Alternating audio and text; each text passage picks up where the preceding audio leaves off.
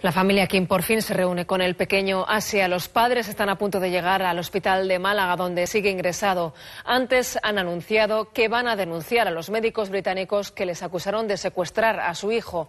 Han conseguido ya reunir el dinero que necesitaban y Paco Mesa, buenas tardes, quieren llevarse a Asia a un hospital de República Checa.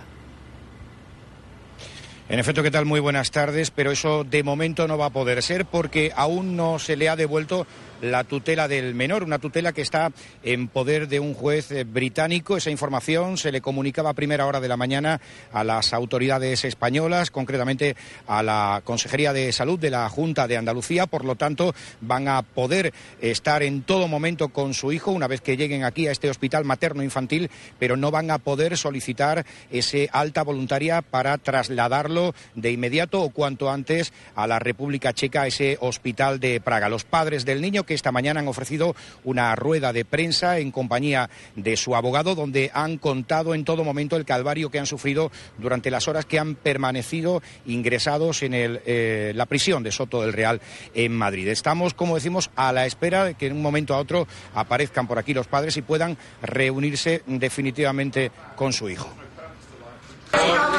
Avalancha de medios ingleses y españoles en la primera rueda de prensa del matrimonio King. Déjenlo hablar dos minutos, por favor. Cállense ya, por favor. Han explicado que todo lo que han hecho ha sido por el bien de su hijo y porque les habían amenazado con quitarle la custodia. Y yo no sigo, si nosotros no seguimos con nuestro um, tratamiento, van, van a sacarlo, uh, sacarle Asher de nuestra responsabilidad. Y ha recordado que todo lo han hecho por amor, para evitar que el tratamiento que estaba recibiendo su hijo le dejara en estado vegetativo. En esta parte más importante del cerebro de mi hijo van a dar 56.